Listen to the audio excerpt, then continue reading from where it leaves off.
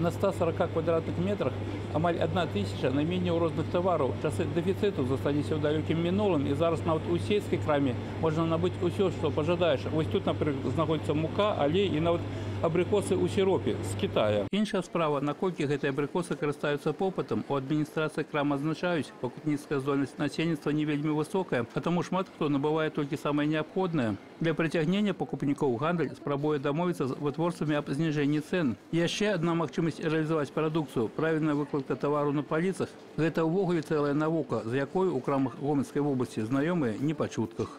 По мерчендайзеру там есть такое, что именно вот, допустим, детские соки м, вылаживаются на полочке, которые так, чтобы пок- шел, шел ребенок, вот видите вы здесь, и сам какой-то сок выбрал для себя. У крамах, якія адносяцца да сістэмы спажывецкай кааперацыі, сёння кажуць аб вельмі жорсткай канкурэнцыі.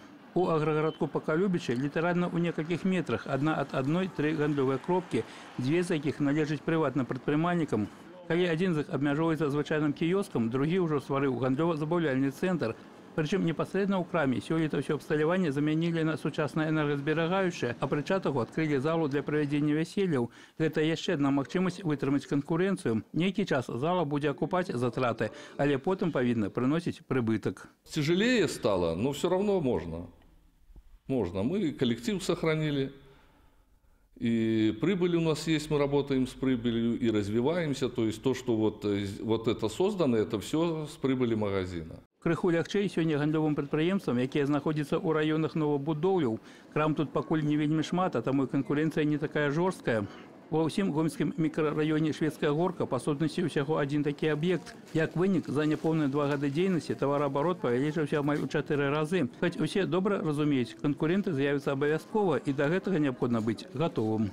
Во-первых, э, ну, коллектив хороший. Э, Постоянно работаем с покупателями, спрашиваем, что хотят, э, их пожелания.